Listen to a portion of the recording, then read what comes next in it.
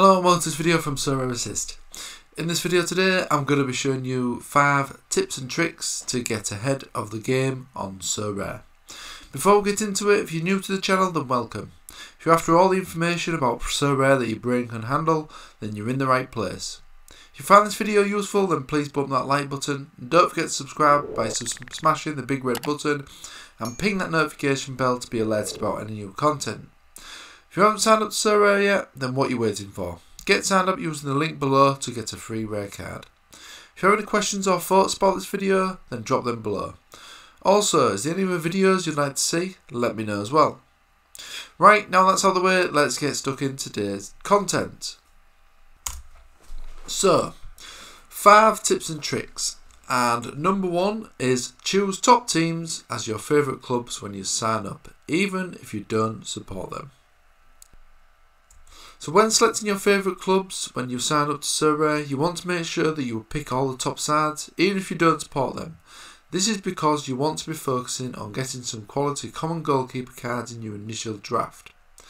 This is because a high quality common goalkeeper card like Neuer for Bayern Munich could still score around the same points as a lot of the rare goalkeepers in the mid to bottom table teams, even with the 40% reduction. You can also increase the XP of the common cards to increase their scoring capability. This will save you a lot of initial investment as you won't need to shell out a huge amount of your capital on a rare goalkeeper.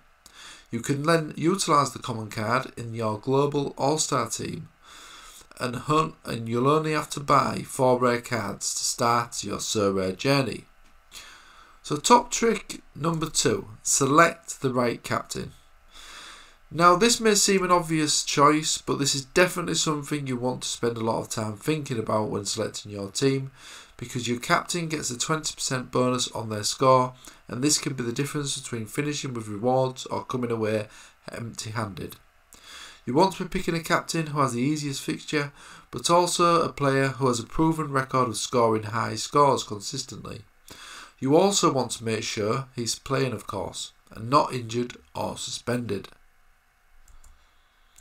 Because having a captain that doesn't start is like a player you have just sold bagging in hat tricks.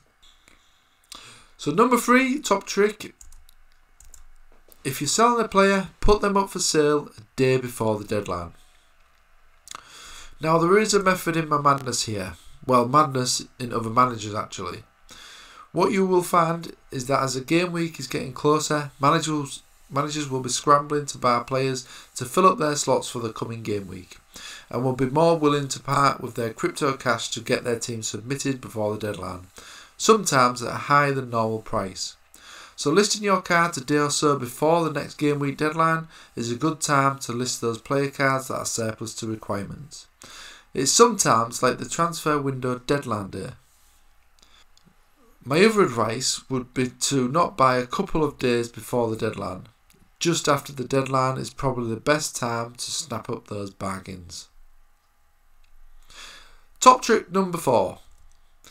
Put some spare players in training every single game week. Now, if you want to be the next Alex Ferguson or Jose Mourinho, then you need to push your players to the max.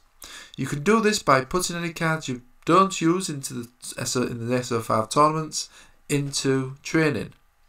Depending on how many cards you have, this can be a bit fiddly and take time, but it's well worth it.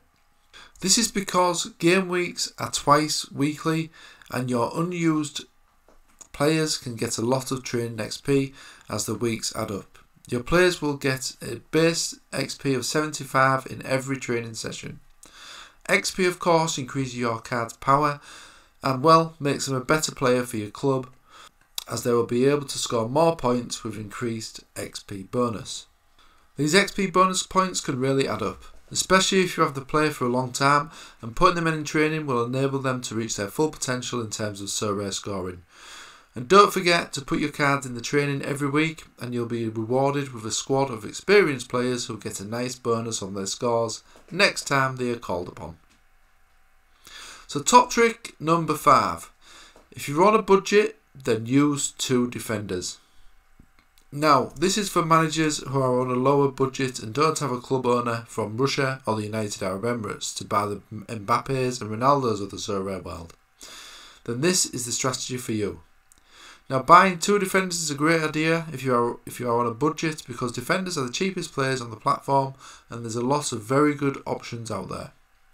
You could also use a common keeper to start with, then you would only need to buy one midfielder and one forward.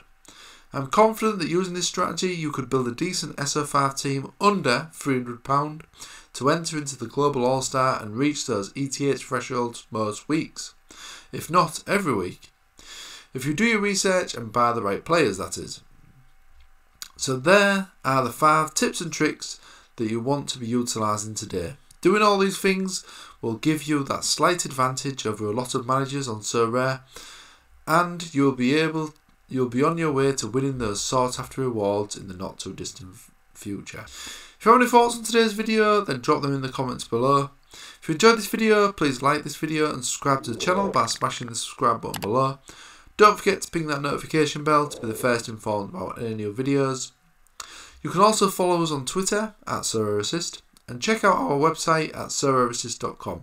Links in the description below. There's also a link in the description to Sorare if you want to get signed up today and access those all important free cards, including a free rare card. I'll hope to see you on the next video. See you again soon.